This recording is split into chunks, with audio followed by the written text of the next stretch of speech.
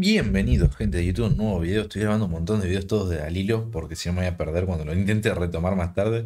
Pero en el medio de los videos de los tutoriales me di cuenta de que quiero hacer un pequeño video de para gente que no quiera ver el tutorial, pero que sean consejos básicos de lo que tienen que hacer. Esto ya es para la gente que ya sepa todos los conceptos del juego, digamos, básicos, lo que es cima, lo que es cuadrado, lo que son los ítems. Para gente que ya entienda todos los conceptos, esto es una pequeña eh, resumen de cómo no desperdiciar recursos. Después en las guías voy a hacerlo más extenso, pero esto va a ser como un resumen rápido de qué es lo que tienen que hacer para no desperdiciar ni tiempo ni recursos. Así que, como les digo, me voy a saltar un montón de, cosas que tienen que saber, pero vamos a ir al hilo. Lo primero que tienen que saber es que si están arrancando a jugar, no desperdicien sus recursos. No gasten nada en mejorar sus ítems, ya sean verdes o las azules puede llegar a ser. Pero yo, por ejemplo, les voy a mostrar acá que hay una cuenta que no les estoy mostrando. Ahí está. Miren mi ballestera. Yo en mi ballestera eh, tengo ítems de grado 1 todavía. Pero como son más 7, no voy a explicar el tema de grados de ítems ni eso porque para eso están los tutoriales. Acá lo que voy a hacer es ir al hilo de qué es lo que no tienen, en dónde no tienen que gastar sus recursos. Esto prácticamente te lo empieza a dar el juego solo. Con esta no me voy a ir porque está justo en una dorada, pero vamos a ir con la maga. Eh, ustedes cuando eh, acá. No, acá. Ustedes cuando hacen peticiones les van a dar ítems azules. Ustedes cuando hacen asaltos les van a caer ítems azules. O sea, los ítems azules te empiezan a dropear un montón. Llega un punto hasta que te sobran, como por ejemplo en la maga, que tengo un montón de ítems azules acá. Como pueden ver, miren. Miren lo que me sobra. Y no lo fabriqué, todo esto me fue dropeado por el juego, me van cayendo. Esta sí la había fabricado, pero por ejemplo, como las primeras veces que ustedes hacen los asaltos, les van regalando ítems. Yo ya, bueno, ya recolecté todo, ¿no? Pero creo que en este no ven. ¿Ven que les van regalando? Entonces acá ustedes cuando vayan haciéndolos y si tienen gente, amigos que los puedan ayudar a hacer asaltos que ustedes no podrían hacer solos, o asaltos a jefe y todo este tipo de cosas, te van a ir dropeando un montón de ítems azules.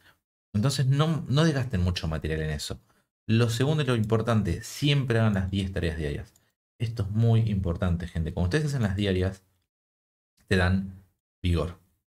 6 píldoras, porque yo ya soy nivel 80, al principio te dan 4, pero las píldoras de vigor las van a usar un montón para poder subir de nivel cuando estén FK.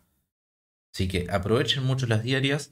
Y yo lo que hice, lo que hago, por ejemplo, es ya no subir el entrenamiento del chi, la constitución y el chi de una. porque Hay una tarea diaria que te pide subir el chi. Y hay otra tarea diaria que te pide subir la constitución. Entonces no la mejores al máximo, como hice yo mal hecho. Eh, anda subiéndola de poquito. Por día le vas subiendo un clic un clic, un clic. Entonces ya tenés dos tareas diarias, dos tareas diarias ahí fijas. Después otra tarea diaria que hay es que te pide eh, desarrollar un ítem e identificarlo. Entonces yo todos los días agarro un ítem verde cualquiera, le doy a desarrollar, ahora ya lo hice, así no lo voy a hacer pues al pedo. Agarro acá, le doy a encantar, lo encanto y ya tenés dos tareas diarias más. O sea, ya ahí tenés cuatro tareas diarias hechas. Después yo lo que hago es agarrar y eh, ir a fabricar. Hay otra tarea que es de fabricar y fabrico material. Agarro un material, no sé, épico que, me, necesite y digo, bueno, tú lo fabrico. Ahora no tengo nada, pero bueno. Y fabricas un ítem. Con fabricar cualquiera, cualquiera de estos ítems, ya está. Fabricaste uno, listo, ya está. Ya hiciste esa tarea. Ya tenés la mitad de las tareas diarias hechas. Es un montón. Gracias a, como les digo, eso. Después, bueno, eh, ves, yo la de constitución esta vez no la hice. Después tenés el tema de las misiones diarias. Para mí es fundamental que hagan las misiones diarias todo el tiempo. ¿Por qué? Porque vas a recolectar muchos recursos y vas a evitar el gasto de Darksteel a futuro. Vos apenas arrancás a jugar, yo te diría que todos los días tardás mucho tiempo. Porque al principio a niveles bajos tardás mucho, mucho tiempo. Capaz que te recomendaría llegar aunque sea al nivel 70 para que no tardes tanto. Y busques las tareas diarias de menor nivel que puedas hacer. Y hagas siempre las tareas diarias en campo, las que dicen daily, y vas buscando yo diría que desde nivel más bajo que seas y veas que no tardes tanto, pues si tardas más de 3 horas un montón. Lo ideal es que tardes un máximo de 3 horas en hacerlas diarias. Y hagas siempre las de acero y las de platino. Toda tarea diaria de acero y platino, yo te recomendaría que las hagas todos los días. Yo ahora ya me hice todas las de platino, por eso no se ven. Pero yo diría que hagan todos los días las de platino y las de acero. ¿Por qué? Porque cuando ustedes quieran fabricar algo rojo, al, fabricar un ítem rojo, ustedes tienen que gastar 300 de acero o de platino. Esos 300 de acero se te convierten en 3000 de acero azul. Ustedes haciendo las diarias van a sacar un aproximado de 120 por día. O sea que al mes van a sacar aproximadamente 3000. O sea que por mes, haciendo todas las misiones diarias todos los días, van a sacar el suficiente material para un ítem rojo. Por más que no tengan para hacer el ítem rojo todavía, están eh, guardándose muchos recursos. Porque después, si ustedes lo quieren traer de lo verde, hacer mil, mil azules del verde son 2 millones de oro y un millón de ártil. Es un montón de recursos que no es necesario se hacen las diarias. Aparte que las diarias les, completan otra tarea diaria que es muy necesario. Entonces, para mí, hacer las diarias y hacer eh, las tareas, que son distintas las misiones diarias a las tareas diarias. Son dos cosas. Las tareas diarias te dan el vigor y las misiones diarias te van a dar el... ¿Cómo se dice? Ah, el material. Ahora, las misiones diarias, ¿cómo funcionan? Eh, como ustedes pueden ver, dice que repite tres veces. El personaje, como ustedes eh, seleccionan todas las, misiones, ponen acá y ponen jugar en automático, las va a hacer todas. Y como dice 3 de 3, si se fijan, yo ahora no puedo mostrárselos porque ya las hice. Pero si ustedes se fijan, ¿ves que dicen acá tres veces? Cuando ustedes abran acá dice 3 de 3.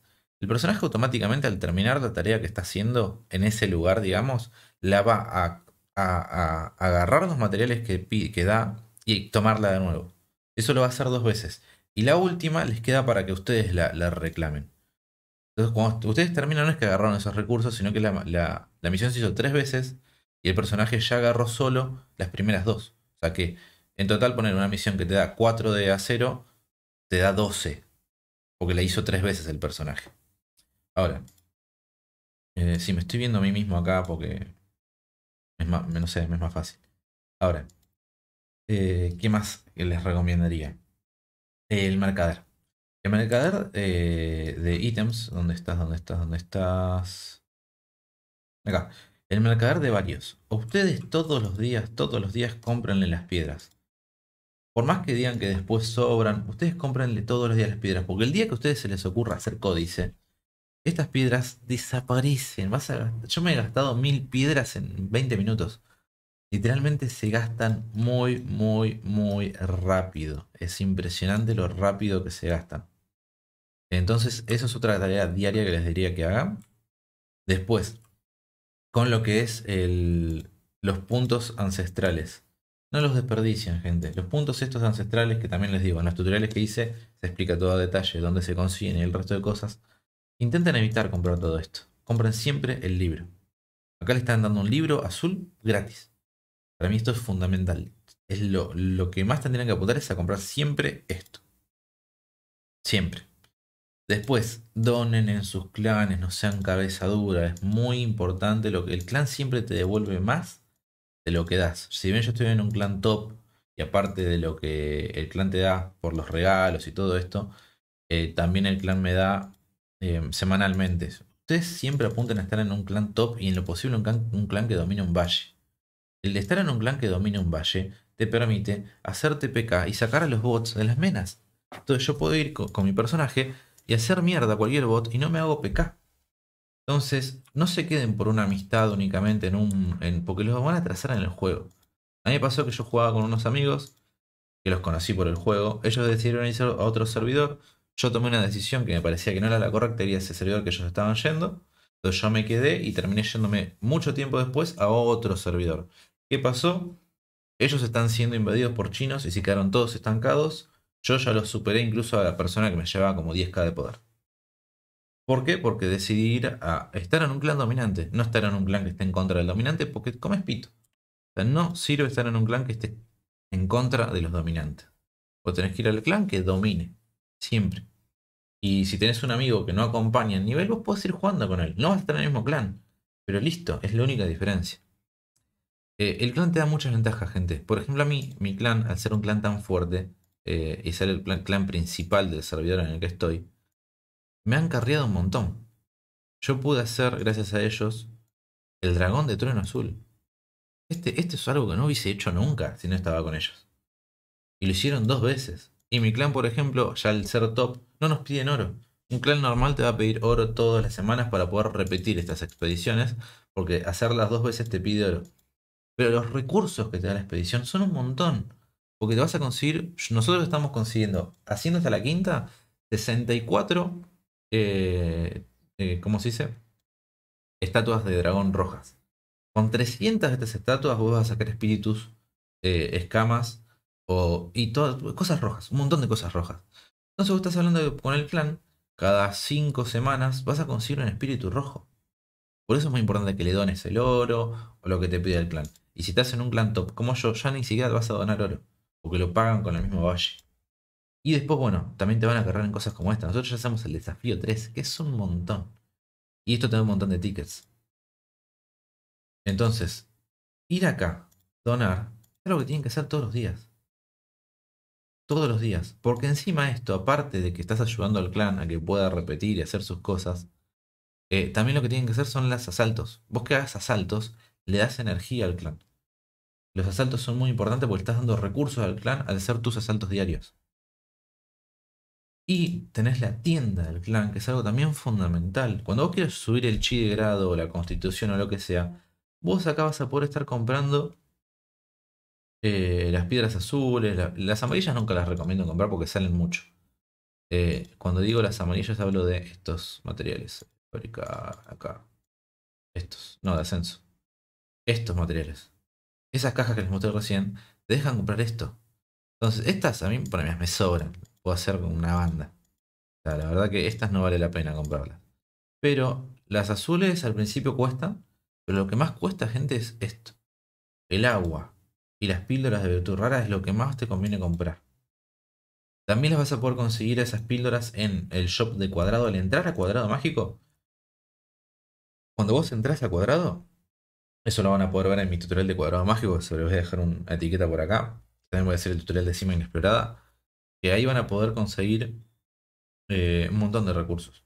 Yo en cima inexplorada recomiendo hacer voces o experiencia y en cuadrado mágico experiencia, siempre, siempre experiencia. Eh, eh, ¿Qué más les puedo recomendar? Como les decía, ustedes cuando... Ustedes todos los días tienen que venir acá. Esto es súper importante. Todos los días tienen que venir acá Paquete inicial, bla, bla, bla. Son 3 por día que valen en total 10.000, 20.000 y 30.000 de cobre. Eso todos los días lo tienen que hacer. Producto común, lo que te dé el cobre para poder hacer y compras acá todo lo que te dé. Yo así acá conseguí con la ballestera este espíritu que tengo acá. Este espíritu rojo, 100 de cobre. 100 de cobre. Es fue pura suerte, sí, puedes abrir 80.000 y capaz que nunca te sale uno. Pero a veces tenés suerte. Esas dos cosas y después algo muy muy importante que hay gente que no sabe, el sotropo. Esto tiene que abrir su cuenta del celular, pero miren lo que te da. Estás consiguiendo tres triques de acá, estás consiguiendo esto semanalmente y estás consiguiendo al abrir esta caja, porque esta caja te la da al abrir 10, son tres tickets más. Un montón. Por ver 20 publicidades da paja un poco, pero al abrir, yo lo hago una sola cuenta. Al abrir tu cuenta de al celular, ves las, ves las 20 publicidades y no te recomiendo hacer nada que le pegue a bichos porque el, personaje se va a quedar pagado y se va a morir. Anda a agarrar plantitas, anda a minar y en ese momento deslogueas, lo guías en tu celular y ves las publicidades. Y aparte de las publicidades, también lo que tenés que hacer cuando apenas estás arrancando es eh, ir acá, ir a producto común, consumible, al final de todo, y comprar estos dos. Estos dos que valen 1.200.000 de cobre son 100 casillas más en tu inventario. Es un montón. Vas a necesitar mucho espacio en el inventario mientras más vas avanzando. Yo tengo 300 porque después yo lo que hice fue comprar con oro. desde el 250 hasta el 300, esas 50 vale 10 de oro cada uno, son 500 de oro. Entonces para mí es muy rentable invertir esos 500 de oro en esos 50 slots más, porque son muy necesarios. Porque como empezás a tener tantas cosas rojas y tantas cosas que te va a dropear el juego, eh, vas a necesitar más espacio sí o sí. Entonces, para mí, hasta 300 slots es muy recomendable. Más de 300 slots ya no. La verdad que ya no lo veo tan, tan necesario. Y bueno, gente, creo que esto sería todo lo que tienen que hacer, eh, bueno, diariamente, digamos, sobre los consejos que les puedo dar como les digo, no, no gastan recursos nunca en fabricar ítems verdes y en azules el menos. Capaz que en azul alguno que otro ítem. Porque si te pasa como mi ballestera, que tenés... A ver, yo en la maga lo vengo haciendo siempre y gasté una banda, pero un montón de, de las piedras para desarrollarla y nunca me salió. Ahora, con esta gasté cuatro piedras. Cuatro insignificantes piedras y me salió el arco más 8. ¿Por qué es tan importante que sea más 8? Porque yo la pude ir acá a fabricar. Y puedo hacerme el arco rojo. Porque yo puedo usar un ítem grado 4 más 8. Fíjense siempre que si ustedes tienen el arco de ataque, van a poder hacer el arco de ataque. Pero si ustedes tienen el arco de defensa, te va a pedir el arco de defensa.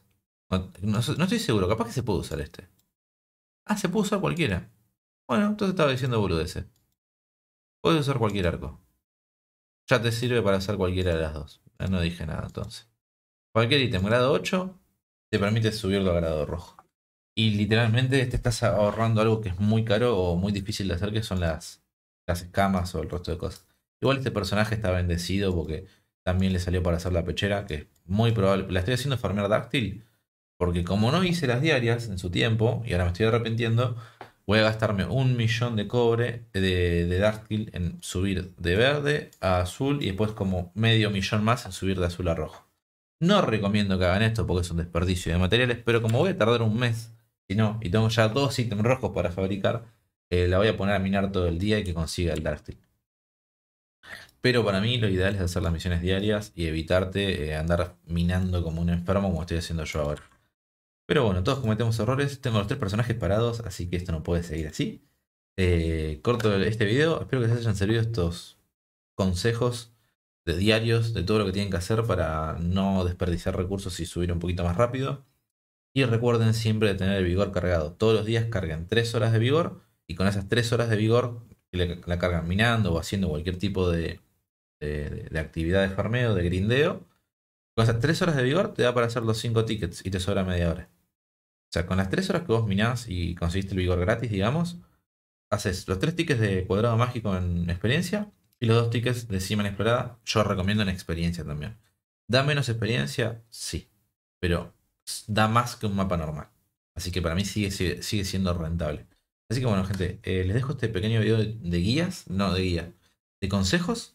Y voy a seguir con los videos de las guías de 1004 porque es un, la verdad que se me está haciendo bastante largo y son muchas guías las que tengo que hacer porque es un juego que tiene demasiado contenido. Y para alguien nuevo que quiere entenderlo de todo el juego es muchísimo. Así que bueno, gente, gracias por el video. Recomienden estos videos a sus amigos que jueguen 1004 y me están ayudando un montón. Y recuerden que me pueden ver en Twitch. Estoy streameando bastante seguido. Así que les mando un abrazo.